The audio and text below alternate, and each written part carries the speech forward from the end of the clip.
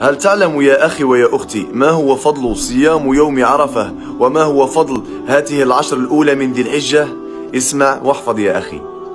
قال النبي صلى الله عليه وسلم عن يوم عرفة صيام يوم عرفة إني أحتسب على الله أن يكفر السنة التي قبله والسنة التي بعده الله يا أخي تخيل معي صيام يوم واحد يكفر بذلك الله لك ذنوبا لسنة ماضية والسنة التي بعدها. وأما عن هذه العشر فوالله إنها أعظم عشرة أيام في السنة. إيه نعم أعظم حتى من العشر الأواخر من رمضان. حيث قال النبي صلى الله عليه وسلم ما من أيام العمل الصالح فيها أحب إلى الله من هذه الأيام أي العشر الأولى من ذي الحجة. قالوا يا رسول الله ولا الجهاد في سبيل الله؟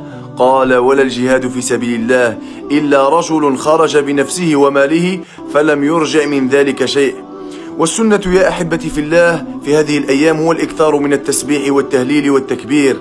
بلغوا غيركم وشاركوا الخير مع غيركم فالدال على الخير كفائله. بارك الله فيكم. والسلام عليكم ورحمة الله.